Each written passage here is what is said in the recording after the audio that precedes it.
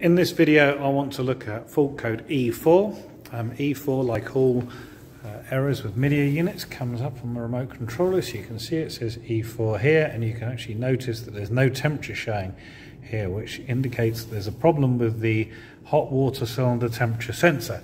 So if you go to your outdoor unit your hot water sensor plugs in here. It's a black cable. If you follow it up all the way up into the PCB you can see that it plugs into the top of the PCB here.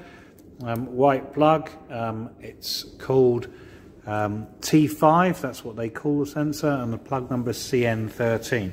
And the problem we have here is that the cylinder sensor has come unplugged, so if we plug the two together, the fault code will disappear.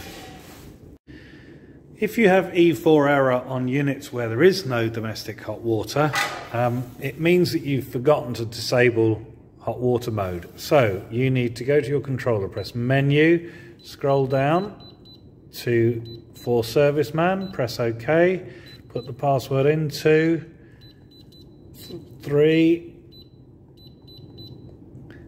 four, go to DHW mode setting, press OK, and it says DHW mode no. If this says yes, um, the hot water is active and it will look for the tank sensor. If it says no, then it doesn't look for the sensor and the sensor will be um, possible to disconnect.